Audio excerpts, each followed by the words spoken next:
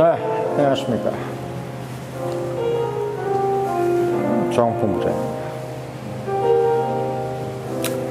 시간이 벌써 10시가 됐네요. 음. 아, 자, 오늘 여러분들께 드리고 싶은 이야기는, 아, 아 세금 관련된 얘기를 좀, 음, 할까 해요. 아, 물론 뭐 부자 얘기죠, 결국은. 세금 얘기는 부자 얘기인데, 어, 제목을 저희 이렇게 따라왔죠. 예, 부자 되기. 어, 부자 되기는 어, 세금 계산부터 하자. 이렇게 제가 좀 제목을 달아봤습니다. 어떻게 보면 참 그 모든 사람들이 다 이제 꿈꾸고 있는 것이 대한민국 특히 지금 어, 부자 되기잖아요. 특히 이제 뭐 요즘 30대, 20대, 30대들이 가장 관심이 많은 게 어, 재테크고 그 재테크 중에서도 이제 어, 뭐 양끌이라 그래가지고 이제 뭐 부동산 예. 그것도 이제 서울 어, 뭐 이런 식으로 어, 상당히 어떻게 보면은 그 맹목적인 아, 옛날 옛날 옛날보다 좀 더 맹목적이죠. 그러니까 어, 기성세대들은 어, 뭔가 이 부동산에 대한 개념이 상당히 좀 폭넓었는데 그리고 부동산에 대한 재테크에 대한 개념이 상당히 폭넓고 그 얘기는 뭐냐면 누가 명확하게 뭔가 정해주지 않았고 뭐 땅이면 땅, 뭐 사업이면 사업, 뭐 여러 가지 어떤 개념이 있었어요. 뭐 어떤 사람들은 뭐 주식이라기도 하고. 그래서 우리 때만 해도 사실은 뭐 부자 된다는 개념이 뭐 어떻게 어떤 종목을 딱 정해놓은 것이 없고 어떤 사람은 뭐, 어, 뭐 주, 식이 최고다, 어떤 사람은 채권이 최고다, 또 어떤 사람들은 아, 무슨 소리냐. 자기 사업을 해서 돈을 벌어야지. 언제 무슨 뭐 주식 투자하고 있냐. 어, 돈, 번, 10명 들어가서 한 명이 성공한다. 또 어떤 사람은 부동산 투자, 뭐 부도, 집을 사야지 무슨 소리냐. 또 어떤 사람은 집이 뭐냐. 땅을 사야지. 어? 뭐 이런 얘기하고. 또, 또 부동산 중에서도 어떤 사람들은 야, 무슨 뭐 아파트 사고 있냐. 응? 뭐 건물을 지어야지. 뭐 별별 얘기가 많았어요. 저, 저 어렸을 때도. 저도 이제 집이 초중고등학교부터 이제 강남, 강남에서 이제 살다 보니까 어, 워낙 사람들이 이제 에, 재테크에 관심 많은 사람들도 많고 어렸을 때부터 부모님들도 맨날 그런 얘기고 그랬는데도 불구하고 어떻게 보면은 이게 30년, 40년이 지나도 똑같아. 예, 얘기는 똑같습니다. 참 재밌는 게 또 하나는 근데도 불구하고 아직도 똑같은 얘기를 하면서도 답을 못 찾는 것 같아요. 제가 그냥 이거는 뭐 어떻게 보면은 저도 느끼는 거고 제가 눈으로 보는 것, 제가 또 돈을 벌어봐서 하는 것들 이런 거줄 보니까 다 맞아. 뭐 땅에다 투자해서 돈 벌면 되는 거고 또는 아파트 투자해서 돈 벌면 되는 거고 뭐든 다 맞아요. 어, 결국 이제 에, 제일 안 좋은 거는 그냥 현금을 계속 들고 있는 거죠. 어, 현금을 계속 들고 있으면 현금은 이제 불어나지가 않으니까 뭔가의 어떤 뭐 주식 뭐 지금 우리가 그러잖아요. 포스코 주식을 30년 전에 샀으면 지금 떼부자가 됐다. 지금 특히나 이제 포스코 퓨처엠이니 뭐니 이게 포스코 홀딩스니 포스코 주식이 엄청나게 올랐잖아요. 근데 예전에 포스코 주식 막 뭐 5만 원 하고 이럴 때 지금은 상상할 수도 없는 금액이지만 음, 국민주를 해가지고 팔았는데 사람들이 저거 포스코 저거 사가지고 뭐 얼마나 돈 되겠어 뭐 이런 사람들도 있었고 뭐 삼성전자도 마찬가지입니다. 아무튼 뭐 다 좋습니다. 뭐 주식을 해도 되고 다 좋은데 제가 하나 더 이게 딱 사람들이 모르는 게 하나 있더라고요. 이게 뭐냐면 로봇 기호사기가 하는 얘기랑 똑같은 얘기인데 에, 결국 이제 에, 현금의 흐름을 놓치지 않고 있느냐 어? 어, 현금의 흐름 즉 말하자면 내가 어딘가에 뭘 투자하고 있는 건 좋은데 음, 어쨌든 사람들이 이제 뭘 투자를 한다는 거는 내가 갖고 있는 자산의 어마운트를 늘리겠다는 얘기잖아요 그렇죠? 그래서 이제 빚 연끌을 하는 것도 빚을 내 가지고 뭘 투자하면 그게 이제 몇 년 후에 오르고 뭐 몇 억이 더 오르고 그러면 그 총액이 어, 결국은 이제 나의 자산을 늘린 것처럼 이렇게 이제 상당히 그 포만감을 주지 않습니까? 음. 근데 그런 부분인데 이게 사람들이 좀 이제 간과하는 것이 결국 이제 에, 정부가 뭘 좋아하는지 나라가 뭘 좋아하는지를 좀 생각을 하면서 가야 된다는 걸 제가 좀 말씀을 드리고 싶어요. 무슨 얘기냐면 어, 국가는 부동산 가격이 오르길 바라죠. 네, 왜 부동산 가격이 오르길 바라느냐? 부동산 가격이 올라서 매매가 많이 이루어질수록 얄짤없는 세금이 들어오기 때문이죠. 뭐 이렇게 뭐 중, 조- 종합 종부세든 뭐든 마찬가지입니다만은 일단 매매가 이루어지면은 아, 세금이 얄짤없이 붙죠. 음, 우리가 중, 이- 우리가 이제 부동산 중개인의 이런 자격증을 만들어 놓은 것도 뭐냐면 너희들끼리 몰래 아, 사고 팔아가지고 세금을 탈루하지 못하게끔 만든 아, 장치들입니다. 그래서 아, 나라에서 부동산 중개업 하는 걸 상당히 장려했던 이유도 아, 세금을 걷어들이는데 이만한 게 없어요. 부동산만. 예. 특히 이제 아파트 같은 것이 많아지면서 더더욱 그게 이제 더 개수가 많아지잖아요. 그러면서 이제 사실 어떻게 보면 어, 사고 팔기가 더 쉬워지지. 마치 이제 규격하게 따- 잘라놓고 이제 음식 같은 걸로 따지면은 이게 싹 다 깍두기처럼 잘라놔가지고 파는 거기 때문에 더 매매가 더 많이 일어나고 또 매- 매매가 많이 일어날수록 어, 세금은 더 많이 거치는 거죠. 얄짤없이. 그래서 제가 이제 왜 세금 말씀을 드리는 거냐면 어, 세금을 제하고 난 금액 예, 항상 이게 중요한 겁니다. 예, 세금을 제하고 난 금액 또는 준조세라 그러죠 우리가 이 대출이자 예. 그 대출 이자와 세금을 제하고 난 금액이 도대체 얼마냐. 아, 라는 것을 항상 이제 생각을 해야 되는데 그 왜 그러냐. 결국 내 주머니로 들어온 돈이 얼마냐가 제일 중요한 거예요. 내 주머니 들어온. 돈. 근데 우리가 이제 시쳇말로 서울에서 아파트 팔아가지고 지방 내려가면 다시는 서울 못 들어온다는 얘기는 지방 내려가서 어, 못 들어오는 게 아니라 아파트를 팔았을 때 이제 제하는 세금과 아, 대출 이자 이런 것들을 제하고 났을 때 실제 손에 들어온 돈이 얼마 안 되기 때문에 그걸 가지고 나중에 다시 서울에 올라왔을 때는 그만한 걸 살 수가 없는 거죠. 에, 그게 그래서 이제 서울 올라 서울 뭐 아파트 팔아 서울 올라오기 힘들다는 게 바로 그 얘기예요. 그리고 이제 강남도 마찬가지인데 왜 그러냐면 아, 제 친구들 중에서 강남에서 집 팔아가지고 부모님들이 집 팔아서 다시 강남에서 사는 사람을 못 봤습니다. 예, 마찬가지죠. 지금 강남에 있는 사람들은 집을 안 판 사람들이에요. 집을 안 팔, 그러니까 제가 어렸을 때 초중고등학교 다닐 때부터 집을 가지고 있다가 지금 안 팔고 있는 사람들은 계속 강남 사는 거고 그렇지 않고 그때 판 사람들은 지금 그걸 다시 가지지 못하죠. 아, 그만큼 이제 뭐 올랐다 내렸다를 떠나서 아, 판 가액이 상당히 적어요. 손에 쥐는 금액이 적은 거죠. 우리가 보통 뭐 아파트가 뭐 30억이네 50억이네 그러지만 실제 그것을 팔았을 때 내 손에 쥐는 게 얼마냐라고 생각할 때는 사람들이 그걸 얘기를 안 하죠. 왜? 기사, 기사에 나온 금액은 아, 그냥 세금을 제하지 않은 금액으로 나오기 때문이지. 뭐 얼마에 팔았는데 뭐 얘기해서 뭐, 어, 차익이, 어? 매매 차익이 얼마다. 뭐 이렇게 나오잖아요. 그때 우리가 뭐 연예인 누군데 어, 뭐, 빌딩을 샀는데, 어, 150억에 샀는데 지금 뭐 300억이 돼서 매매 차익이 150억이다. 이렇게 나오잖아요. 아, 정말 매매 차익이 150억일까요? 매매 차익은 150억이 아니죠. 뭐, 이자 빼고, 매대 출금 빼고 뭐 하고 나면 실제 이제 본인이 손에 쥐는 돈이 막 그거의 10분의 1일 수도 있어요. 네, 10분의 1일 수도 있습니다. 심지어 누가 이게 솔직하게 어떤 연예인이 얘기했죠. 어, 마이너스가 된 적도 있다. 분명히 이제 매매 차익으로 보면 20억 정도 되는데 실제는 마이너스예요. 라고 한 사람도 있었어요. 실명을 밝히진 제가 않겠지만. 왜 그럴까요? 예, 바로 우리 몰래 우리가 매매하는 데 뒤에는 항상 정부나 국가라는 것이 있기 때문입니다. 그리고 그 사이에 뭐가 있냐면 중개인이라는 것이 있는 거죠. 그게 바로 은- 은행인 거죠. 금융기관. 그리고 뭐 소위 얘기해서 우리가 여러 가지 중개인들, 진짜 중개인들, 뭐 부동산 중개 이런 게 있는 거죠. 그래서 우리가 뭐 보면은 중개인들 그리고 이제 그 중개인이 가장 그 중개인 중에 제일 큰 게 바로 이제 정부예요. 예, 정부. 정부는 아무것도 한 게 없어요. 그냥 받기만 하죠. 음. 은행은 그래도 뭘 빌려주기라도 했잖아. 정부는 한 게 없어. 그냥 받기만 해. 예.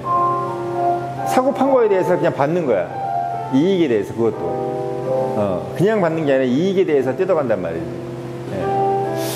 그래서 여러분들께서 내가 왜 이 말씀을 드리냐면 너무 어떻게 보면은 아, 뭐 기사화된 어떤 부분들에 나오는 아, 뭐 얼마짜리 부자다, 뭐 100억대 부자다, 또뭐 200억대, 300억대 부자, 뭐 이렇게 부자라고 나오잖아요.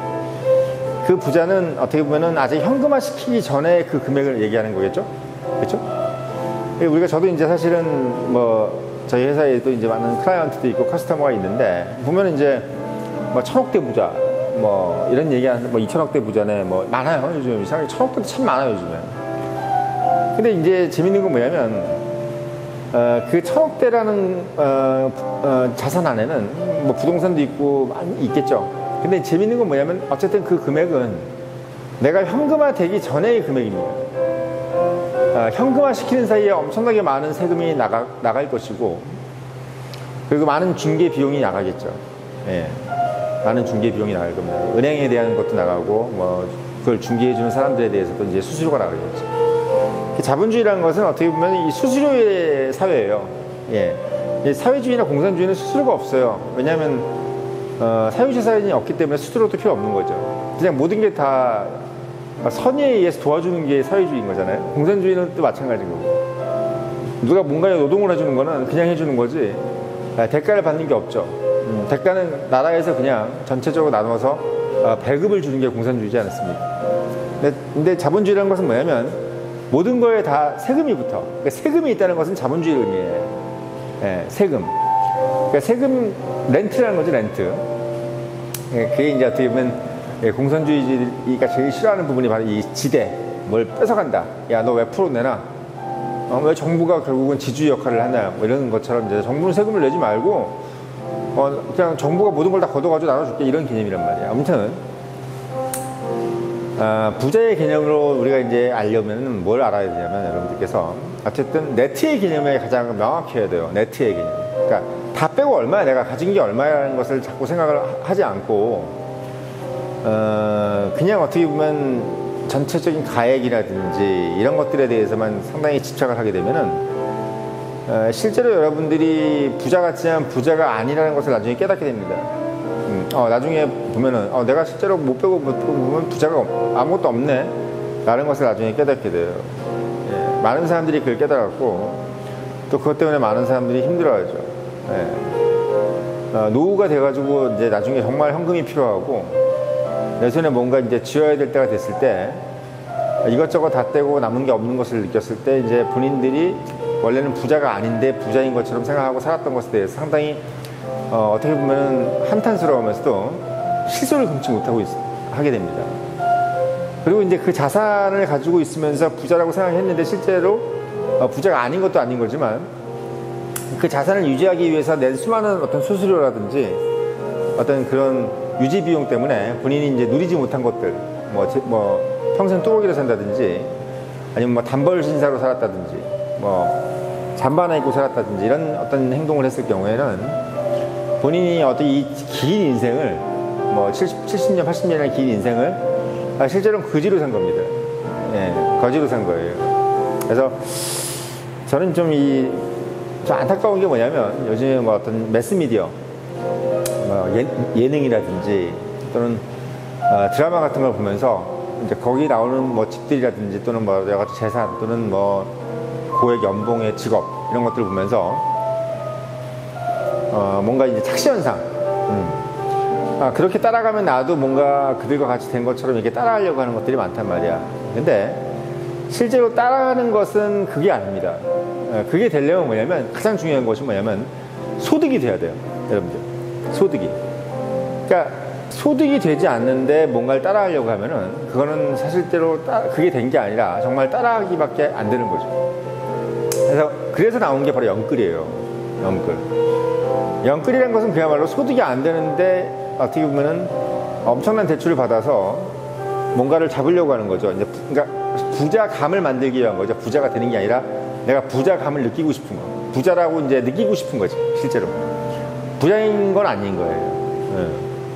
근데 우리가 소위 얘기해서 이제 뭐 그, 뭐 박나래 씨라든지 이런 사람들이 뭐 이렇게 뭐 엄청나게 비싼 부동산을 살고 뭐 이런 것들을 보면서 아, 저런 부동산에 살면 나도 저런 것 비슷한 부자가 되겠지라고 생각하지만 아, 그분들은 1년에 한 50억에서 60억 거의 뭐 그 부동산 가액만큼의 돈을 벌고 있는 사람들입니다. 소득이. 음. 어, 세금을 빼고도 그 정도 될 거예요. 네, 그런 정도의 소득을 내고 있는 사람들이에요. 그러니까 아, 실제로 이제 소득이 얼마냐라는 것에 대해서 상당히 욕심을 가져야 되는데 요즘 어떻게 보면 제너레이션들, 요즘 세대들 같은 경우는 아, 소득을 올린다는 개념보다 더 중요한 거는 자산을 올린다는 거에 너무 몰빵, 몰입을 하는 것 같아요. 네. 그러니까 진짜 소득은 뭐냐면, 진짜 부자는 아, 소득을 늘려서 현금의 흐름을 만드는 겁니다. 즉, 내 주머니에 실제 얼마 있는데, 그리고 내가 진짜 얼마의 돈이 진짜 들어오고 있고 얼마가 나가고 있는데, 그 현금이 들어오고 나가는 사이에 남아있는 어느 정도의 아, 잉여금, 음? 그 잉여금이 어, 계속 쌓여나가고 있는 것을 보면서 그 잉여금에서 결국은 뭐냐면 내 자산이 늘어나는 것을 확인하는 게 이게 제일 중요해. 이게 제일 중요합니다. 예. 그리고 그러면서 이제 본인의 어떤 삶의 어떤 질을 좀 높여가면서 뭐, 뭐, 정말 뭐 레인지로버 끌고 다닌다든지 아니면 뭐 어디 뭐 해외여행을 다닌다든지 이런 것들이 이제 이루어지는 거겠죠.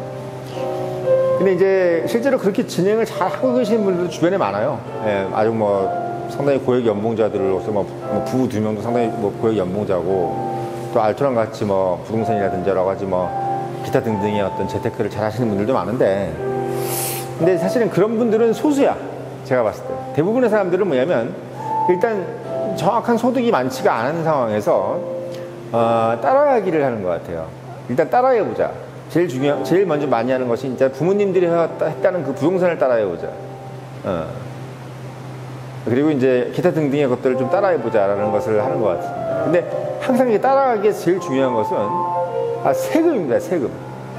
매매에 의한 세금 또는 그 보유에 의한 세금 이 세금에 대한 생각들을 어, 약간 좀 등한시하고 하긴 하는데 그걸 정말 손에 닿듯이 해야 된다는 거죠. 음. 그리고 소득도 마찬가지예요. 여러분들 그 소득도 이제 사실은 연봉이 뭐 2억이라 그러면 실제 제 어, 받는 금액이 그냥 한 1,200 어, 정도 될 겁니다. 월, 네트로. 그러니까 우리가 이제 연봉 2억이라 그러면 아, 한, 한 달에 한 2천만 원 버나? 이렇게 생각하잖아요. 2천만 원이 아니죠. 음. 1200 정도가 될 거예요. 연봉 2억이면. 네. 연봉 1억이면 우리가 보통 아, 월 1000이나 벌어지지만 연봉 1억이면 650만 원입니다. 네, 650만 원을 버는 거죠. 그러니까 어, 엄밀히 따지고 보면 이걸 따져줘야 돼요. 현금을. 현금의 흐름을 따져줘야 됩니다. 그러니까 내 주머니에 얼마가 들어오는지 따져줘야지 마치 부자감을 느끼는 것을 가지, 즐기면서 어, 실제로 가지지 않는 어떤 자산, 가지지 않는 소득을 자꾸 본인 소득으로 만드는 마치 이제 우리가 이제 대학 들어갈 때 어, 학력고사 점수를 자꾸 높이는 거지. 뭐 이것도 맞는 거고 저것도 맞고 해서 보통 자기 평균이 얼마 안 되는데 이게 마치 서울대를 갈 거나 연고대를 갈 수 있는 금, 어, 점수인 것처럼 생각하다가 어떻게 됩니까? 결국은 이제 어, 좋은 학교를 못 가게 되죠.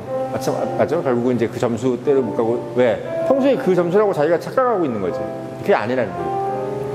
그래서 어, net의 소득과 net의 자산을 정확히 알고 세금을 제한 소득, 그 세금을 제한 net 소득과 세금을 제한 net 자산을 정확히 알고 어, 그거에 맞춰 가면서 본인의 어떤 인생을 어, 설계해 나가야 진짜 부자가 될 수 있고 또 진짜 그게 뭐 부자가 되든 안 되든 여러분들께서 이제 뭐랄까요 좀 더그 음, 어, 찰지게 예, 인생을 좀 어, 살아갈 수 있다는 좀 생각이 좀 들어요. 그러니까 어, 많은 분들이 그냥 허무해하는 것을 저 옆에서 많이 보거든요. 그러니까 뭐 실제로 강남 사니까 더 힘들더라. 뭐 예를 들면 뭐 아유 내가 뭐 어 이렇게 해서 이렇게 막 강남 살고 또 뭐 이렇게 앞, 뭐 집을 가지거나 또는 뭐 할 줄 알았으면 되게 좀 좋을 줄 알았는데 아 이거 되게 힘드네. 뭐왜왜 힘드냐면 그러니까 힘든 이유가 있는 겁니다. 아, 바로 네트에 대한 생각을 하지 않고 현금의 흐름에 대한 생각을 하지 않, 기 때문에 그래요.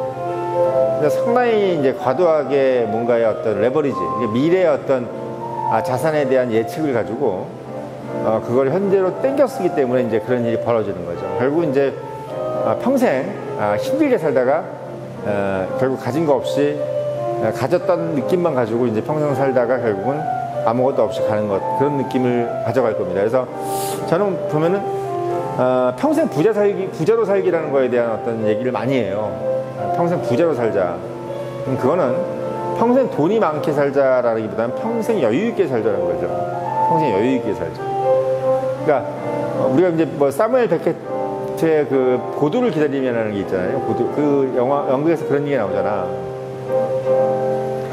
어, 고도란 것이 누군지도 모르고 고도 이름도 모르고 아, 고도라 이름만 알지 생, 어떻게 생긴 것도 것도 모르고 고도가 왜 언제 오는지도 몰라. 근데 그걸 기다리고 있어. 네. 그냥 무작정 기다리고 내일도 기다리고 또 모레도 기다리고 그럼 서로 막 대화를 해 고도가 누구냐 고도를 왜 기다리냐 그러면 사, 다 몰라 왜 기다리는지 몰라 근데 기다리고 있어 내 이름은 고도가 올까? 올지 않을지도 몰라 뭐래놓나 울지 않을지 몰라. 그래서 그 실체가 뭔지도 모르는데 어, 그 고도를 막 기다리고 있는 거죠. 그게 어떻게 보면 우리의 현실이에요. 예, 그 우리의 어떻게 보면 재테크의 현실이기도 합니다. 그래서 제가 말씀드리는 거는 어, 참 어려운 얘기인데 우리 부모님들도 못했던 얘기들이고 뭐 우리 부모 할아버지들도 참 어, 완수를 못했던 일인데 하나의 명확한 것은 인생은 한정돼 있고 어, 저도 이제 한 2, 30년 되니까 저- 지나니까 20대가 벌써 50이 됐어요. 그런 한 20년이 지나면 이제는 돈이 의미가 없는 나이가 되겠죠. 예, 70대 이상이 돼버리면 이제 그때부터는 좀 어, 어, 여기저기가 아프기 시작하고 그럴 겁니다. 예, 제가 드리는 말씀은 어, 어떻게 됐든 네트의 상황을 정확하게 파악해서 어, 본인이 부자가 아닌데 부자라고 생각해서도 안 되고 또 어, 본인이 뭐 가진 것도 없는데 너무 가졌다고 생각할 필요도 없는